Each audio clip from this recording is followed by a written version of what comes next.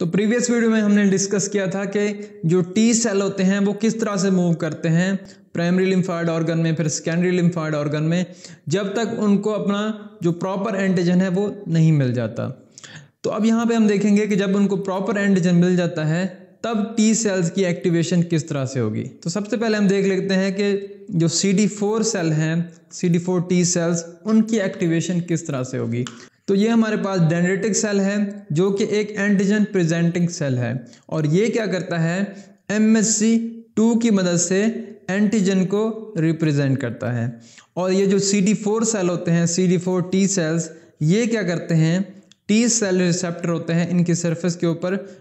तो इन T cell receptor की मदद से क्या किया जाता है? इन एम एस सी टू के थ्रू जो एंटीजन रिप्रेजेंट हो रहा होता है, उसको रिकग्नाइज किया जाता है।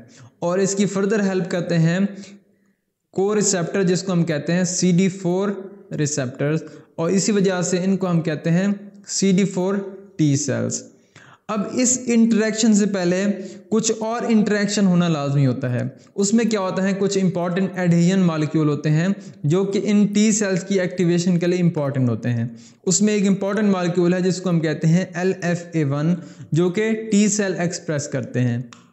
इस तरह जो डेंड्रेटिक सेल होते हैं या जो एंटीजन प्रेजेंटिक सेल होते हैं, वो उसके जो कंपेटिबल एक रिसेप्टर या जो एक एडिशन मालिक्यूल एक्सप्रेस करते हैं, जिसको हम कहते हैं आई कैम वन अब क्या होगा? ये एल एफ़ ए वन और आई कैम वन का इंटरेक्शन होगा। शुरू में क्या होता है? ये इंटरेक्शन इतना स्ट्रांग नहीं होता। वो किस वजह से कि जब ये जो टी सेल रिसेप्टर और ये जो एम एस सी टू की मदद से जो एंटीजन रिप्रेजेंट हो रहा है, इसके दरमियान अगर इंटरेक्शन नहीं होगा, यानी कि ये जो एंटीजन है, वो इसके कंपेटिबल नहीं होगा इस टी सेल रिसेप्टर के, तब क्या होगा? ये जो इंटरेक्शन है एल एफ़ ए वन और आई के एम वन का, ये इतना स्ट्रांग नहीं होगा।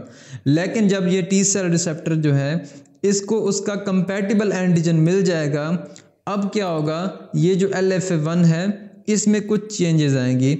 यानी कि शुरू में क्या था? इंट्रैक्शन इतना स्ट्रांग नहीं था। अब क्या होगा? ये इंट्रैक्शन स्ट्रांग हो जाएगा। इसमें कुछ चेंजेस होंगी। अब क्या होगा? ये जो एडहियन है वो स्ट्रांग हो जाएगी।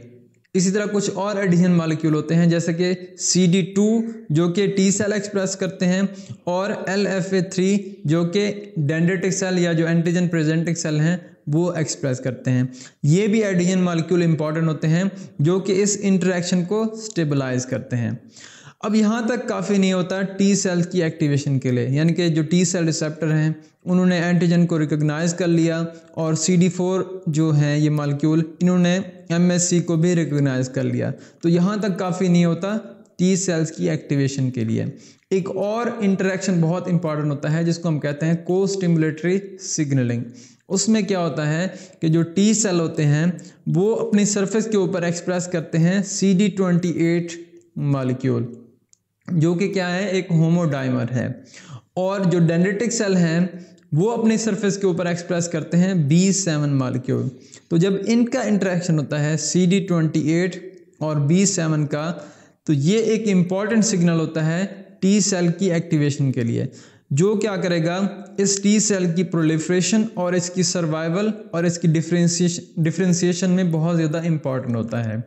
और ये जो बी सेवन मालिक्यूल होते हैं, इसकी दो तरह के टाइप्स होती हैं। एक को हम कहते हैं बी सेवन वन या सी डी एटी और एक को हम कहते हैं बी सेवन टू या सी डी एटी सिक्स अब ये जो दोनों मालिक्यूल होते हैं, इनका जो एक्स्ट्रा सेलुलर डोमेन होता है, जो कि इस सी डी ट्वेंटी एट के साथ इंटरेक्ट करता है, वो सेम होता है। लेकिन इनका जो इंट्रा सेलुलर पोर्शन होता है, वो दोनों का डिफरेंट होता है।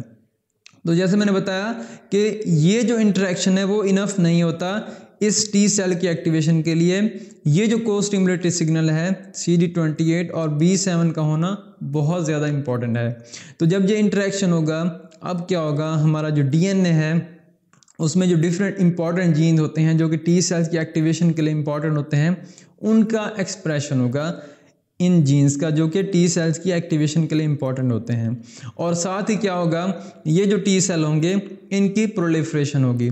और इंपॉर्टेंट जीन जो इसमें होते हैं, जो कि टी सेल्स की सर्वाइवल या जो उसकी प्रोलिफ्रेशन है, उसके लिए इंपॉर्टेंट होते हैं, उसमें होते हैं इंटरल्यूकिन टू के जीन्स और ये जो इंटरल्यूकिन टू है, ये क्या करता है? ये डिफरेंट जो वे है, उसके थ्रू टी सेल्स के ऊपर एक्ट करता है।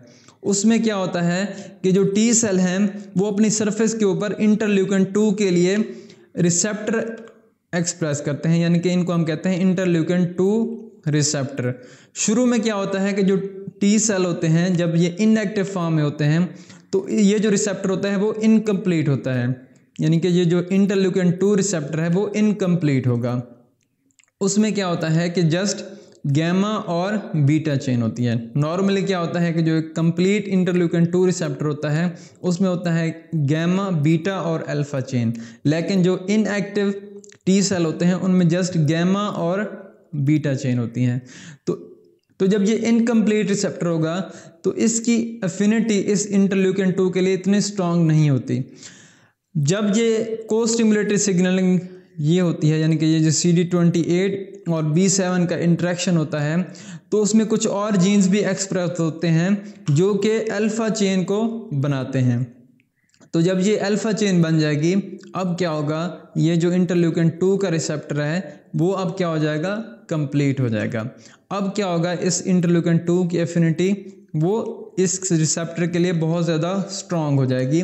और ये जो सी डी फोर सेल हैं या जो और जो टी सेल होते हैं, जैसे सी डी एट सेल वो अच्छे से रिस्पॉन्ड करेंगे इस इंटरल्यूकन टू को। और इस तरह से इन टी सेल्स की प्रोलिफ्रेशन होगी और साथ में डिफ्रेंसिएशन भी होगी। तो ये सिग्नल जो है इंटरल्यूकन टू सिग्नल जो है, वो बहुत ज़्यादा इंपॉर्टेंट होता है। अगर तो ये अल्फ़ा चेन नहीं बनेगी, तब क्या होगा? सही तरह से इसकी प्रोलिफ्रेशन नहीं हो पाएगी टी सेल्स की। और ये जो मैकेनिज़्म है, जिसमें क्या हो रहा है, आप देखें कि ये जो इंटरल्यूकन टू है, ये जिस सेल से प्रोड्यूस हो रहा है, वो दोबारा उसी पे ही जाके एक्ट कर रहा है। तो इसको हम कहते हैं ऑटोक्राइन सिग्नलिंग इसी तरह ये जो इंटरल्यूकन टू हैं केमिकल मीडिएटर ये दूसरे जो टी सेल होते हैं, उनके ऊपर भी एक्ट करते हैं। और इसको हम कहते हैं पैराक्राइन सिग्नलिंग और एक तीसरी टाइप के और सिग्नल भी होते हैं जिनको हम डिफरेंट साइटोकाइंस जो हैं वो डेंड्रेटिक सेल्स प्रोड्यूस करते हैं, जैसे कि ट्यूमर नेक्रोसिस फैक्टर वो भी क्या करते हैं? इन टी सेल्स के ऊपर एक्ट करते हैं और उससे क्या होता है? इन टी सेल्स की एक्टिवेशन हो जाती है। तो हम कह सकते हैं कि जो एक टाइप का सिग्नल काफ़ी नहीं होता टी सेल की एक्टिवेशन के लिए। एक तो ये सिग्नल इंपॉर्टेंट है जैसे कि टी सेल रिसेप्टर और एम एस सी टू की मदद से जो एंटीजन रिप्रेजेंट हो रहा है, उसका इंट्रैक्शन होना और साथ में सी डी फोर का इस एम एस सी टू के साथ इंटरेक्ट करना। तो इसको हम कहते हैं सिग्नल वन और सिग्नल टू कौन सा है? बी सेवन और सी डी ट्वेंटी एट इसका इंट्रैक्शन भी बहुत ज़्यादा इंपॉर्टेंट है। और तीसरा सिग्नल जो बहुत इंपॉर्टेंट है, उसमें क्या है? ये जो डिफरेंट केमिकल मीडिएटर जैसा कि इंटरल्यूकिन टू और डिफरेंट साइटोकाइंस यहाँ पे प्रोड्यूस हो रहे हैं, इनकी प्रेजेंस भी बहुत इंपॉर्टेंट होती है टी सेल की एक्टिवेशन के लिए। तो हम कह सकते हैं कि तीन तरह के सिग्नल इंपॉर्टेंट होते हैं टी सेल की एक्टिवेशन के लिए। इस तरह जो सी डी एट सेल होते हैं, उनकी एक्टिवेशन के लिए भी यही वाले सिग्नल इंपॉर्टेंट होते हैं। बस थोड़ा सा फ़र्क होगा, वो कहाँ पे होगा कि जो डेंड्रेटिक सेल हैं वो अब क्या होता है एम एस सी वन की मदद से जब एंटीजन को रिप्रेजेंट कर रहे होते हैं, पीछे क्या होता था कि जो सी डी फोर सेल हैं, उसमें क्या था कि जो एम एस सी टू है, उसकी मदद से जब एंटीजन रिप्रेजेंट हो रहा था, तब वो टी सेल जो रिसेप्टर हैं, जो सी डी फोर सेल के ऊपर प्रेजेंट थे, वो उसको रिकग्नाइज कर रहे थे। और साथ ही उसके जो को रिसेप्टर था, वो सी डी फोर था। लेकिन सी डी एट सेल की एक्टिवेशन में क्या होता है कि जब एम एस सी वन की मदद से एंटीजन रिप्रेजेंट किया जाता है, तब क्या होता है? सी डी एट सेल्स अपने टी सेल रिसेप्टर की मदद से उसको रिकग्नाइज करेंगे। और उसके साथ जो को रिसेप्टर होगा, वो क्या होगा? सी डी एट होगा। इसके अलावा बाकी जितने भी एडहियन मालिक्यूल थे, जैसे कि L F A one ICAM one यहाँ पर भी होंगे और सी डी फोर सेल में भी होंगे। इसी तरह यहाँ पे भी को स्टिमुलेटरी सिग्नल की प्रेजेंस बहुत ज़्यादा इंपॉर्टेंट होती है, जैसे कि सी डी फोर सेल में थी। और इसी तरह दोनों में क्या होगा? इंटरल्यूकन टू की प्रोडक्शन होगी और जो अल्फ़ा चेन है, उसकी प्रोडक्शन होगी, ताकि जो इंटरल्यूकन टू रिसेप्टर है, वो कंप्लीट बने और सही से ये जो सी डी एट सेल हैं या जो सी डी फोर सेल हैं, वो अच्छे से इसको रिस्पॉन्ड करें इंटरल्यूकन टू को। तो एक तो मेथड ये होता है C D four sorry C D eight cells की एक्टिवेशन का, जिसमें क्या हो रहा होता है कि जो बी सेवन मालिक्यूल है, इसकी एक्सप्रेशन काफ़ी ज़्यादा हो रही होती है डेंड्रेटिक सेल में। यानी कि ये जो को स्टिमुलेटरी सिग्नल है, वो काफ़ी ज़्यादा होता है और ईजीली क्या होता है, इस सी डी एट सेल की एक्टिवेशन हो जाती है। एक और भी मैकेनिज़्म होता है, जिसमें क्या होता है कि जो को स्टिमुलेटरी सिग्नल है, जैसे कि बी सेवन उसकी एक्सप्रेशन जब कम हो रही होती है एंटीजन प्रेजेंटिंग सेल के ऊपर तब किस तरह से टी सेल की या जो सी डी एट सेल है, उसकी एक्टिवेशन होगी। उसमें क्या होता है कि नॉर्मली क्या होगा कि एम एस सी वन की मदद से ये जो है एंटीजन रिप्रेजेंट किया जाएगा और टी सेल रिसेप्टर जो है, वो उसको रिकोगनाइज करेंगे और साथ ही सी डी एट जो है को रिसेप्टर है, वो भी प्रेजेंट होगा। लेकिन जैसे मैंने बताया था कि को स्टिमुलेटरी सिग्नल का प्रेजेंस प्रेजेंट होना बहुत ज़्यादा ज़रूरी होता है सी डी एट सेल की या सी डी फोर सेल की एक्टिवेशन के लिए। तो इसी वजह से क्या होगा कि यहाँ पे ये जो C D twenty eight express हो रहे होंगे सी डी एट सेल के ऊपर, उनका इंटरेक्शन नहीं होगा बी सेवन के साथ। या तो क्योंकि यहाँ पे जो एक्सप्रेशन है बी सेवन की, वो बहुत कम हो रही है या बिल्कुल नहीं हो रही होती। तो अब इस केस में क्या होगा, अब यहाँ पे ये जो डेंड्रेटिक सेल हैं, वो एम एस सी टू की मदद से एंटीजन को रिप्रेजेंट करेंगे। यहाँ पे ये देखें एम एस सी वन की मदद से रिप्रेजेंट कर रहे हैं और यहाँ पे एम एस सी टू की मदद से एंटीजन को रिप्रेजेंट कर रहे हैं। तो अब क्योंकि एम एस सी टू की मदद से इस एंटीजन को रिप्रेजेंट किया जा रहा है तो अब इसको रिकोगनाइज करने के लिए आएँगे सी डी फोर सेल लेकिन इस बार ये जो सी डी फोर सेल होंगे, ये effector C D four cell होंगे, यानी कि ये एक्टिवेटेड होते हैं already activated C D four cell होते हैं। और साथ ही इनकी सरफेस के ऊपर C D twenty eight express होगा, और क्योंकि बी सेवन की एक्सप्रेशन बहुत कम है तो ये भी क्या होगी इसकी जो थोड़ी जो एक्सप्रेशन है वो काफ़ी होती है इन इफेक्टर टी सेल्स को अपना काम करने के लिए। क्योंकि ये जो होते हैं नाइव टी सेल जिनकी अभी तक एक्टिवेशन नहीं हुई, इनको बहुत ज़्यादा चाहिए होता है बी सेवन की एक्सप्रेशन बहुत ज़्यादा चाहिए होती है। लेकिन जो इफेक्टेड टी सेल होते हैं या जो एक्टिवेटेड टी सेल होते हैं सी डी फोर सेल जैसे कि यहाँ पे आप देख सकते हैं इनको बी सेवन की एक्सप्रेशन अगर कम होगी या बिल्कुल नहीं होगी, तब भी ये अपना काम शो करेंगे। तो क्या होगा अब? यहाँ पे ये जब बी सेवन और सी डी ट्वेंटी एट का इंट्रैक्शन होगा और इसी तरह एम एस सी टू और टी सेल रिसेप्टर जब इसको रिकोगनाइज करेंगे, साथ ही एक एडिशनल इंट्रैक्शन होता है जिसमें क्या होता है कि ये जो इफेक्टर टी सेल हैं या जो activated C D four T cell हैं, वो अपनी सरफेस के ऊपर एक्सप्रेस करते हैं C D four T ligand और जो एंटीजन प्रेजेंटिक सेल हैं या जो डेनेटिक सेल हैं, वो एक्सप्रेस करेंगे सी डी फोर्टी मालिक्यूल को। जब इनका इंट्रैक्शन होता है तो इससे आप दो तरह के सिग्नल जनरेट होते हैं। एक सिग्नल क्या होता है कि ये जो बी सेवन मालिक्यूल है, इसकी एक्सप्रेशन बढ़ जाएगी। शुरू में क्या था कि इसकी एक्सप्रेशन कम थी, इसी वजह से ये जो सी डी एट सेल हैं, वो एक्टिवेट नहीं हो पा रहे थे। तो इस इंट्रैक्शन से क्या होगा? बी सेवन मालिक्यूल की जो एक्सप्रेशन है वो इन्हांस हो जाएगी। तो जब बी सेवन मालिक्यूल की यहाँ पे एक्सप्रेशन इन्हांस होगी तो क्या होगा? अब इसका इंट्रैक्शन हो जाएगा सी डी ट्वेंटी एट के साथ, जो कि जैसे मैंने आप लोगों को बताया था, ये एक इंपॉर्टेंट होता है को स्टिमुलेटरी सिग्नल इन टी सेल्स की। सी डी फोर सेल हों या चाहे फिर सी डी एट सेल हो नाइफ यानी कि जो अभी तक एक्टिवेट नहीं हुए, उनकी एक्टिवेशन के लिए ये जो को स्टिमुलेटेड सिग्नल है, इसकी प्रेजेंस बहुत ज़्यादा इंपॉर्टेंट होती है। तो जब ये इंटरेक्शन होगा तो अब क्या होगा? ये जो सी डी एट सेल हैं, जो कि एक्टिवेट नहीं हो पा रहे थे, अब ये क्या हो जाएँगे? एक्टिवेट हो जाएँगे।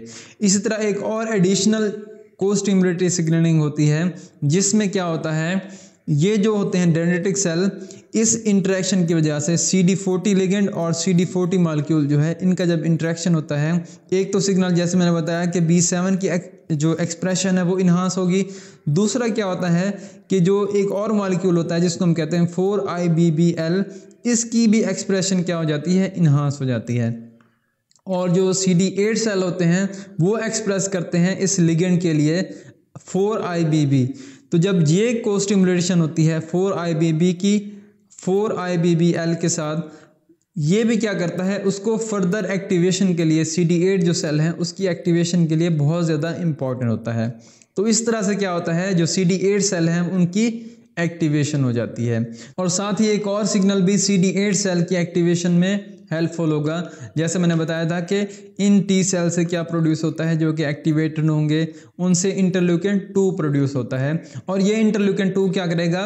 इन सी डी एट सेल्स के ऊपर जाके एक्ट करेगा। ये जो इसका रिसेप्टर है इंटरल्यूकिन टू रिसेप्टर और इसकी एक्टिवेशन के लिए हेल्पफुल होगा। और साथ ही ये अपना भी इंटरल्यूकिन टू प्रोड्यूस करेगा, क्योंकि अब यहाँ पे ये को स्टिमुलेशन जो है, इसकी हो गई है, यानी कि सी डी ट्वेंटी एट और बी सेवन का इंट्रैक्शन हो गया है।